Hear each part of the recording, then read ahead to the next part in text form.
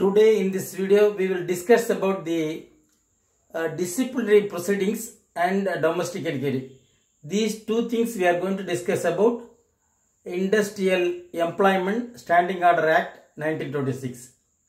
So whenever any misconduct noticed in an organization committed by the employees, it is naturally the disciplinary action is initiated against the misconduct and punishment is awarded according to the the quantum of uh, misconduct so we are going to see how the disciplinary proceedings and how the punishment is awarded that we are going to see in this video ஒரு இண்டஸ்ட்ரியில் தொழிலாளர்கள் அவர்கள் misconduct அதாவது bad contact திருட்டு அல்லது லேட்டாக வேலைக்கு வருதல் ஹாலிடேவை பயன்படுத்தி கொள்ளுதல் அதாவது பர்மிஷன் இல்லாமல் விடுமுறை எடுத்துக்கொள்ளுதல் திருடு களவாடுதல் மற்றும் இன்சபார்டினேஷன் கீழ்ப்ப கீழ்ப்படிந்து நடக்காமல் இருத்தல் சூப்பரார்டினேட் அதிகாரிகளை திட்டுதல் போன்ற மிஸ்கான்டக்டுக்கு ஒரு டிசிப்ளின் ஆக்ஷன் நன்னடத்தை நன்னடத்தையை உருவாக்குவதற்கு நடவடிக்கை எடுக்கின்றார்கள். அவ்வாறு நடவடிக்கை எடுக்கும்போது அதற்கான பனிஷ்மெண்ட் தண்டனையும் தரப்படுகிறது. அதனை பற்றி பார்க்க இருக்கின்றோம் இது usually it is not spelt out in standing order act however according to article 226 and 136, the uh, disciplinary action is taken. Apart from that, even uh, um, uh, the, the, the, according to um, Standing Order Act, uh, Standing Order Act didn't say anything about the uh, disciplinary action and other thing. Uh, but Industrial Dispute Act 1947, according to Industrial Dispute Act 1947, the disciplinary proceedings uh, have to be taken against the erring official, erring uh, employees. So we are going to see all these things about it. So first of all, while initiating the disciplinary proceeding, the principle of natural justice is adopted. principle of natural justice is or the natural uh, principle of natural justice um, contains um, two important things. One is called audi alteram partem, and another is called um, the um, bias. Two things are spelled out. Audi alteram partem means hear the other side. Whenever any proceedings is to be taken, so the notice should be given, hearing should be conducted, and hearing on the other side, on both sides, the verdict should be given. That is the principle. And nobody shall be the judge of his own case. That is, there should not be any bias.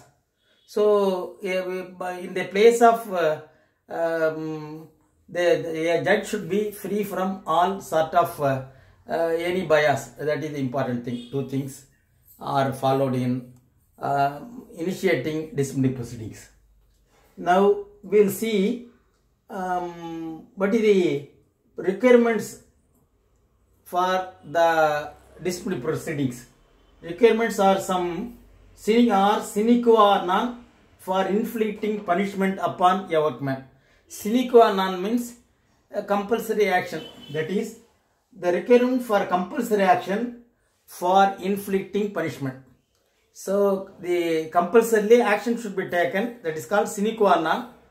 Requirements for siliconons, siliconon for inflicting, inflicting means inflict punishment பனிஷ்மெண்ட்டை கொடுப்பதற்கு தண்டனையை கொடுப்பதற்கு inflicting punishment upon a workman the requirements are compulsory to be taken they are what are the requirements one one is call charge sheet first குற்றப்பத்திரிக்கை என்று சொல்வார்கள். அந்த charge sheet has to be given then holding domestic inquiry according to principle of natural justice.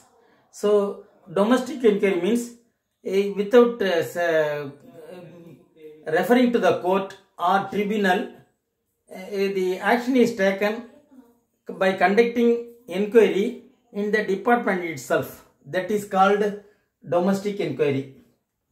And that also to be taken according to the or by adopting principle of natural justice that is whenever uh, any hearing on hearing officials or any misconduct noticed first notice should be given. Then after giving notice that is called show cause notice to show the cause. Under what circumstances you have done the misconduct?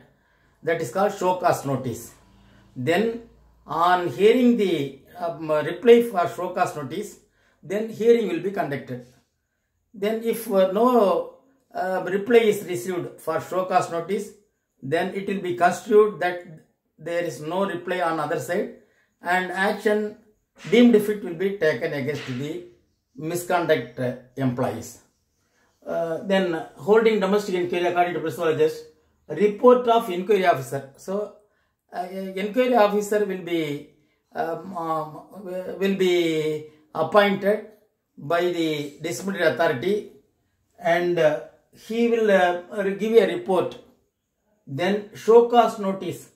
Then uh, if uh, they are not so satisfied with the um, reply, then they will give the show cause notice. Orders of punishment. Then, um, since they are not uh, happy with the reply or it is not in consonance with the uh, misconduct, then they will uh, order for um, punishment of, after the inquiry. Now we will see the process one by one. First we will see the uh, misconduct. What is misconduct? Mis means bad, conduct means the uh, uh, happening, the doing of an act by the employee is called misconduct, bad conduct. The, in bad conduct, what are things will be coming under uh, bad conduct?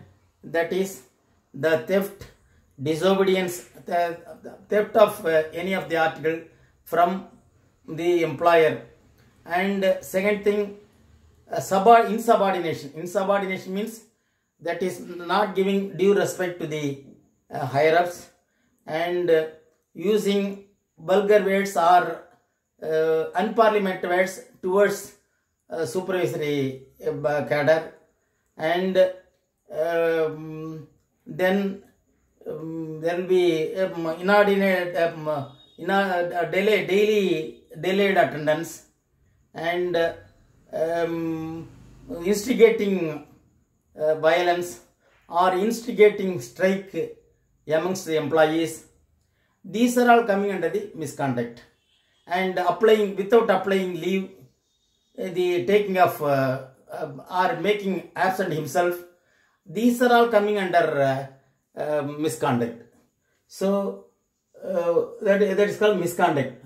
So for misconduct, if uh, the misconduct is there among employees, then that has to be pruned properly or that has the action to be taken appropriately for which punishment is given.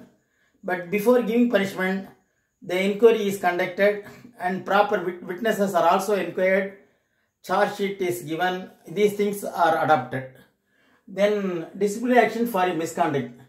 Fra- uh, framing service rules under Article 309. Under Article 309, uh, the service rules are framed. Then charge sheet should be given. Charge sheet என்றால் தமிழில் குற்றப்பத்திரிகைன்னு சொல்லுவோம் what type of misconduct has been done that is that should be given to the the employee so you have miserably failed you conduct you uh, did this misconduct that's why we are prompted to take action like that the charge should be should be should, should be given to the employee it should be precise and clear so the charge should should be precise and clear the acts of omission and commission uh, also uh, alle- alleged in the charge sheet. So, what are the commissions alleged? That should be reflected in the charge sheet. Then, if um, it is va- va- uh, if it is vague, it will vitiate the proceedings. So the, the it should clearly indicate the actual misconduct done by the employee. Otherwise, it, it will vitiate the proceedings. It will uh, the proceedings will be uh, diluted, and delinquent must know what is charged. So uh, the misconduct uh, employee is called delinquent.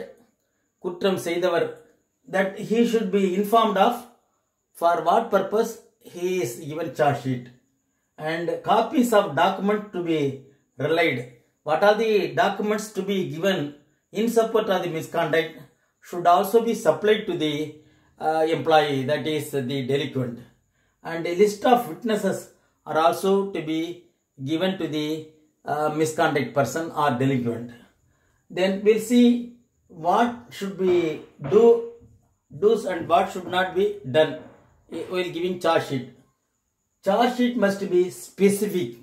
What charge, uh, what is the misconduct done by the um, employee that should be clearly indicated in charge sheet. Uh, the employee should be fully informed of the charges.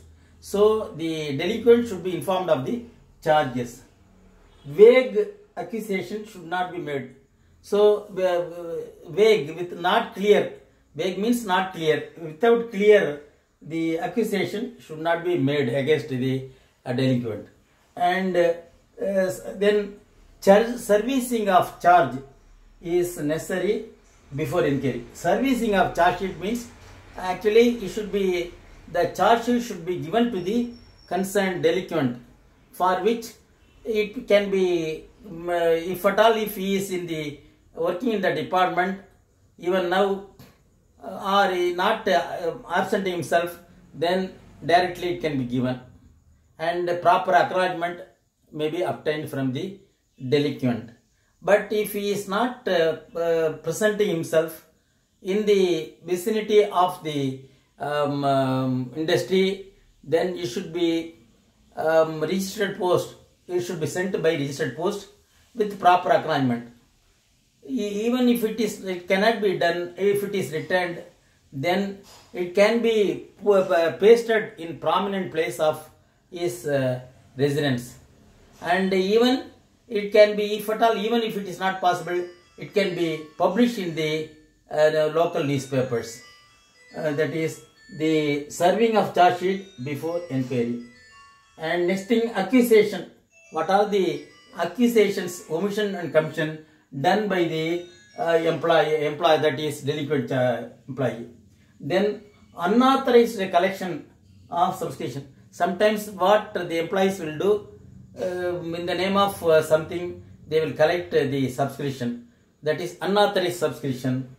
Um, absence without leave that is called negligence and damage to property disobedience and insubordination and theft dishonesty and arrogant behavior and offending language. Suppose if uh, he is offending the higher ups in offending language theft if at all if theft occurred theft done by the uh, delinquent of um, uh, employee then the time date uh, specifically should be mentioned mentioned. Instigation of strike. Suppose if the employee instigate the other employee to go for strike uh, it will uh, impair the work. Uh, these are all coming under uh, the if, if these things are uh, um, uh, there then the charge sheet can be given. And uh, while giving charge sheet vague, vague accusation should not be made. Non-submission of document suppose the charge sheet should be appended with uh, uh, some other documents uh, um, uh, for uh, proving the misconduct should also be given. Charges without required details it should not be charges without required details should not be given. And misconduct not incorporated in the charge sheet. Misconduct uh, what is the misconduct done? Even that uh, that is not incorporated in the charge sheet. Uh, it is not valid. So next then the ina- inordinate delay in charge sheet. So charge sheet uh, there is no specific uh, time for giving charge sheet but inordinate delay will lead to the um, dilution of the charges or dilution of the witnesses and other things So there should not be inordinate delay in giving charge sheet. And uh, uh, the competent authority for framing charge sheet.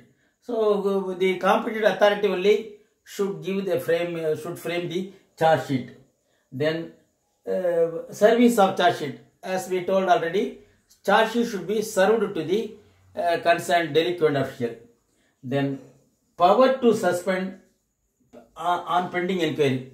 Uh, so it is not necessary that the employee should be continued or should be given job while the inquiry is going on.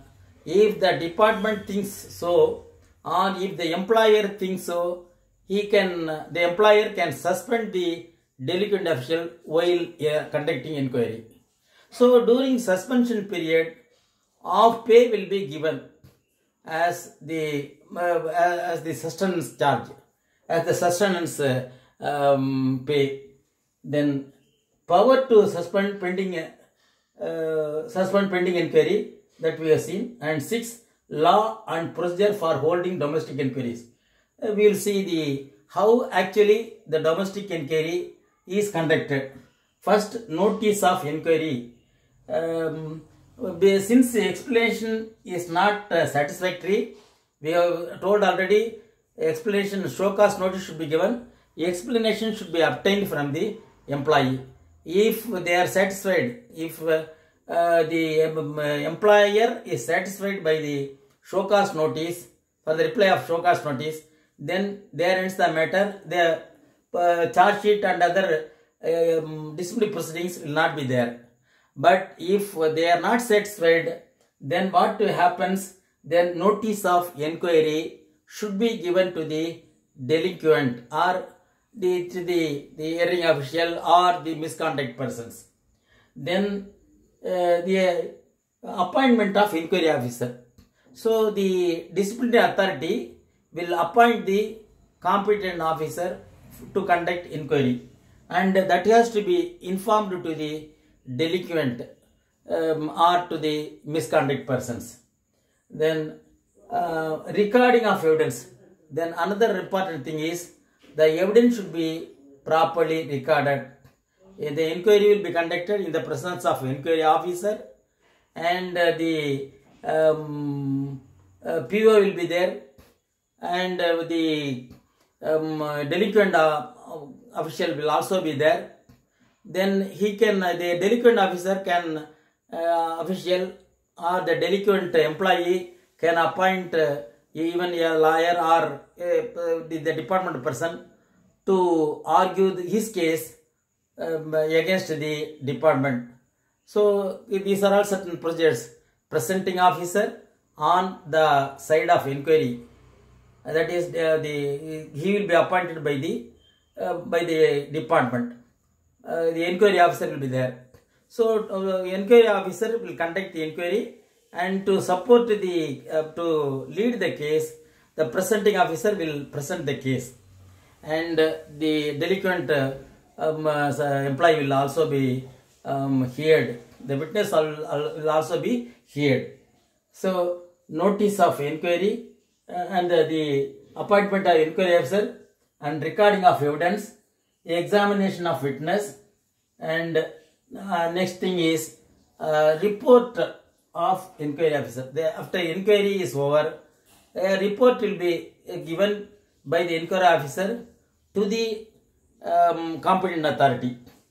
Then eighth is effect of non-furnishing of the copy of the report of inquiry. Suppose if the inquiry report is not furnished to the delinquent, then it will, it will vitiate the proceedings. The proceedings will be, become null. The action taken will be null. Then ninth is punishment. So after uh, uh, the findings are over, and uh, if uh, in the inquiry, uh, if it is proved, the charges are proved, then punishment will be awarded. Uh, it may be major punishment, minor punishment, or even uh, reprimand, oral warning, written warning. Uh, these things are coming under the punishment then points to be considered before um, inflicting punishment so whenever uh, before giving punishment naturally the department the um, appointing authority and the inquiry officer should consider the case sincerely because he is the delinquent or the misconduct person is not an animal. He is also having feelings and other things. Under what circumstances the things are done whether it is purely whether with the intention of uh, criminal intention uh, these things are to be considered before giving punishment. Before inflicting punishment before awarding punishment all these things are to be um, considered with all pros and cons merits merits of the case. Simply they cannot give the punishment. They have to give they have to see on various angles. Then uh, punishment to be awarded uh, in- then bar on employee to take disciplinary action in certain cases. In certain cases uh, disciplinary action is take, is not take, uh, cannot be taken. According to ES Act 1948 that is if the employee is drawing less than 1600 no disciplinary action can be taken against the uh, delinquent. So that is stipulated as per the ES Act 1948 La- then toward jurisdiction of industrial tribunal labor court to interfere with the order of the employer. So whenever uh, the case is with uh, labor court suppose if the um, uh, if they are not satisfied with the um, report of the inquiry officer they can go to labor court and uh, the labor court will see all the things with uh, in and out. And if the punishment given is inc- inconsistent then then naturally it will be squashed. If it is consistent with the quantum of the or the merit of the um, uh, misconduct then the award will be uh, justified.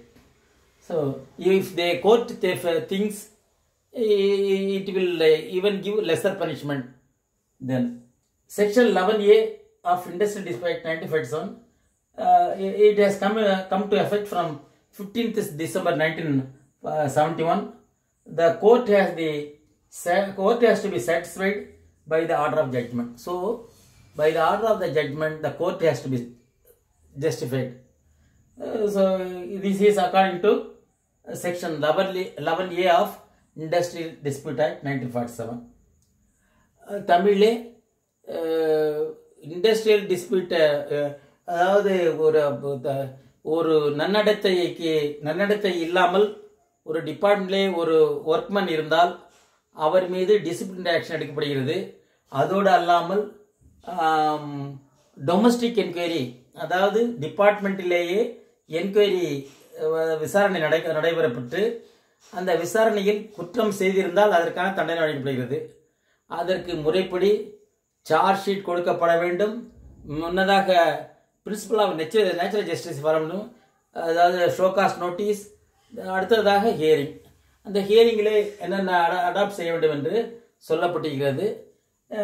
அவ்வாறு முடிந்தவுடன் அவர் குற்றவாளியாக இருந்தால் அவருக்கு punishment தரப்படுகிறது. Punishment தரப்பட்டு அதனை நடைமுறைப்படுத்தப்படுகிறது. அது அந்த ஒத்து போகவில்லை என்றால் அவர்கள் கோர்ட்டுக்கு லேபர் கோர்ட்டுக்கோ அல்லது இண்டஸ்ட்ரியல் ட்ரிபியூனுக்கோ போக போகலாம். அவ்வாறு போகும்பொழுது அந்த குற்ற குற்றம் செய்வதற்கான தண்டனை குற்றத்தோடு ஒத்துப்போகிறதா என்று பார்ப்பார்கள். கோர்ட் நினைத்தால் லேபர் கோர்ட்டோ அல்லது இண்டஸ்ட்ரி டிபியூனலோ குறைந்த தண்டனை கூட வழங்கலாம். With this we conclude this video